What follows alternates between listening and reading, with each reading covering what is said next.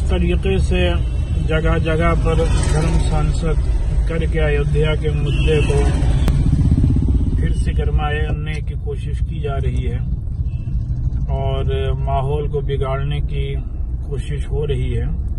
یہ صرف اور صرف الیکشن کو مد نظر رکھ کر رکھتے ہوئے یہ سب اقدامات کیے جا رہے ہیں۔ ہم یہ سمجھتے ہیں کہ یہ بات نیشنل انٹرسٹ میں نہیں ہے۔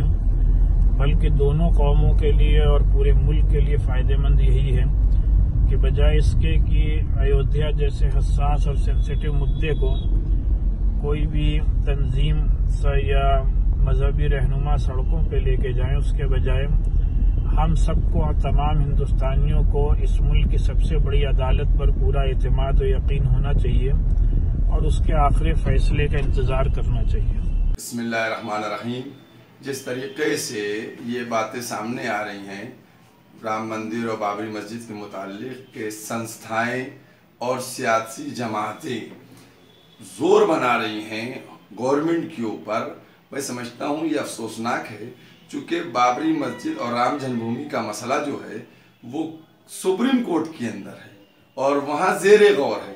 اب اس کے بعد باہر یہ باتیں کرنا اور پریشر بنانا یہ میں سمجھتا ہوں ٹھیک نہیں ہے۔ اور جہاں تک گورنمنٹ سے ادھیادیش لانے کی بات کر رہی ہے، تو گورنمنٹ بھی کسی طریقے سے ادھیادیش نہیں لا ہے۔ بھائی گورنمنٹ کے قبضے میں ابھی آلریڈی ہی وہ ہے۔ ابھی گورنمنٹ کے قبضے ہی میں ہے وہ۔ اب اس میں ادھیادیش کیا لائیں گے؟ اس کے بھی قانونی پہلو ہیں۔ اور جو میں نے قانونی لوگوں سے بات ہوئی ہے، تو اس میں ادھیادیش نہیں لایا جا سکتا۔